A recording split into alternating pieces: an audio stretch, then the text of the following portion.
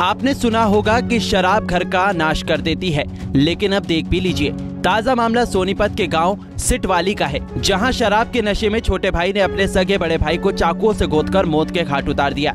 बताया जा रहा है कि दोनों भाइयों में पहले शराब पीने को लेकर झगड़ा हुआ, जिसके बाद छोटे भाई ने बड़े भाई पर चाकू से ताबड़तोड़ हमला कर दिया।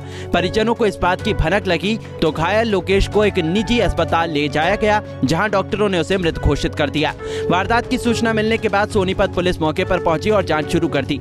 मोहाना थाना प्रभारी दिलबाग सिंह ने बताया कि गाँव सिटवाली से डायल 112 को शिकायत मिली थी कि एक शख्स ने अपने बड़े भाई की चाकुओं से गोदकर हत्या कर दी है, जिसके बाद पुलिस मौके पर पहुँची। ये रात को एक एक सौ बारह कॉल आई थी कि दो भाइयों का आपस में झगड़ा हो गया, चाकू मार दिया है। उस संबंध में सुबह इसके बारे में पता लगा कि उसकी डेथ हो गई है तो उसके बारे में अब उसकी कार्रवाई कर रहे हैं और मुकदमा दर्ज किया सर जिसकी मौत हुई क्या नाम था उसका? उसका नाम लोकेश था। किस कारण है ये हत्या की? कुछ पता चला हो आपसी ये शराब पी के आपस में झगड़ा हुआ है। दोनों भाइयों का? हाँ। दोनों सगे दोनों सगे भाई थे? दोनों सुखे भाई हैं। एक भाई जिसने ये हत्या की है वो शराब पी के घर पे आया था उसने झगड़ा किया था। मृतक क्या काम करता था सर? मृतक अपना प्राइवेट काम करता था। मामला दर्ज कर लिया?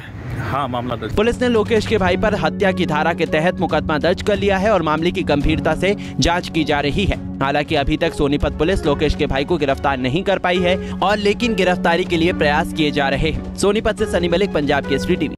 हमसे जुड़े रहने के लिए हमारे YouTube चैनल को सब्सक्राइब करें और नई वीडियो की नोटिफिकेशन के लिए बेल आइकॉन को दबाएँ। अगर आप ये वीडियो Facebook पर देख रहे हैं तो लाइक ज़रूर करें और ज़्यादा से ज़्यादा शेयर करें धन्यवाद हमसे जुड़े रहने के लिए हमारे YouTube चैनल को सब्सक्राइब करें और नई वीडियो की नोटिफिकेशन के लिए बेल आइकॉन को दबाएँ। अगर आप ये वीडियो Facebook पर देख रहे हैं तो लाइक ज़रूर करें और ज़्यादा से ज़्यादा शेयर करें धन्यवाद